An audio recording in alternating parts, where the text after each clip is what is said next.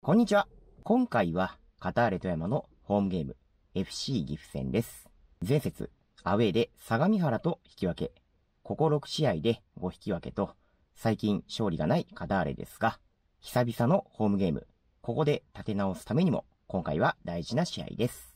リーグ戦は残り3試合、自動昇格に望みをつなぐため、そして4位との差を縮めさせないためにも、とにかく勝利が必要です。今シーズンのカターレは、アウェーで難しい試合の後、毎回ホームゲームで勝利し、立て直してきました。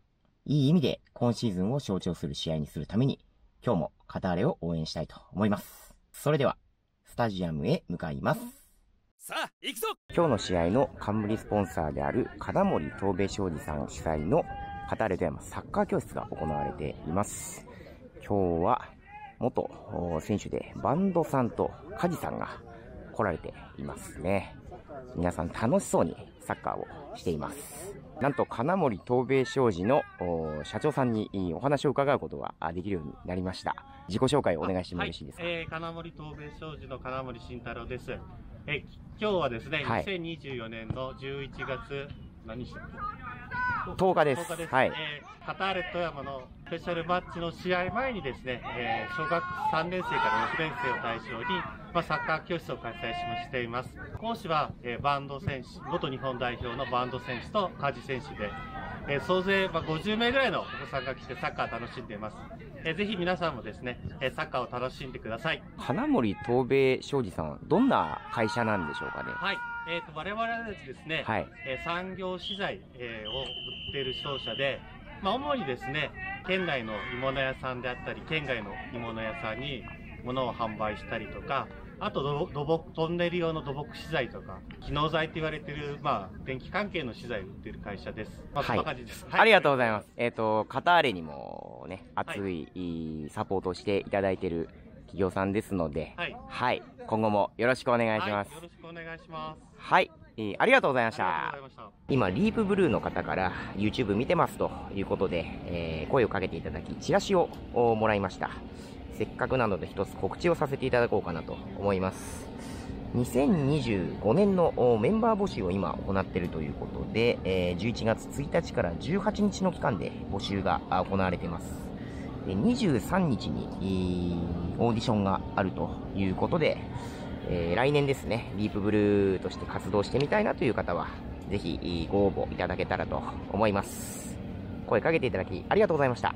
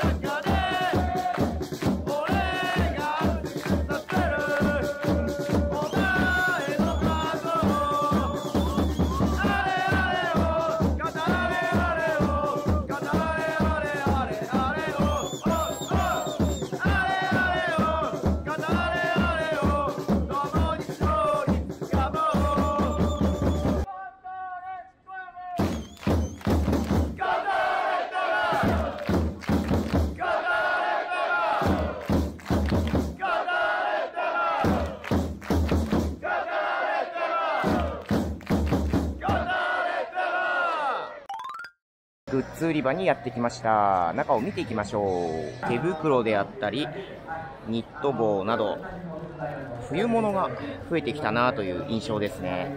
こちらはフリースのクールネックシャツですね。紺色と白があります。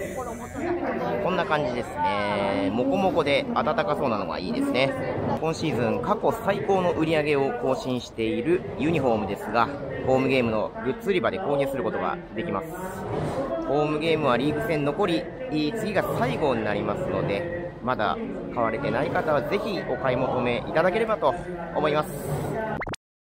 アイナさんのキッチンカーにやってきました。ピンク色の車体が特徴的なお店ですね。日替わりで具材が変わる肩丼。今日は今瀬選手の好物、親子丼のようですね。こちらを注文したいと思います。親子丼をお願いします。はい。ありがとうございます。スタジアムグルメ、今回はアイナさんで肩丼を買いました。今日のメニューは今瀬選手の大好物、親子丼です。肩丼を購入すると黒部からの贈り物が1本ついてきます。こちらも嬉しいサービスですね。鶏肉と卵をご飯に乗せていただきます。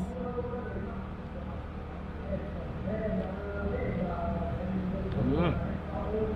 うまい。卵のふわふわ感がとっても優しく口の中を包んでくれる印象がありますね。鶏肉も噛めば噛むほど鶏の旨味が口の中に広がっていきます。これまで何度か片丼をいただいてきましたけれども、毎回素晴らしい丼を出していただけるので、おすすめしたいお店だなと思いました。美味しいです。スタジアムに入りました。今日からこちらの幕が出ています。昇格と大きく書かれていますね。今年こそ思いを叶えましょう。アウェーゴール裏を見ると岐阜サポーターの方たくさん富山までお越しいただいています。ありがとうございます。それぞれ目標がある中での戦いになります。勝ちましょう。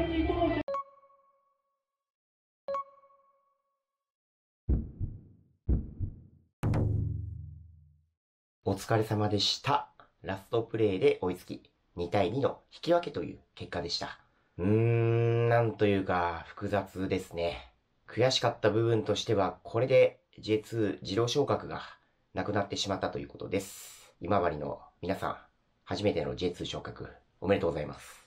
しかし、ポジティブな部分を考えると、最後追いついて勝ち点0を1に変えたということと、後半戦実はまだ2敗しかしていないというところで、試合直後は何を言おうかまとまらず、今別日に撮影をしています。2位以内での自動昇格はなくなりましたが、まだ昇格の可能性自体は消えていません。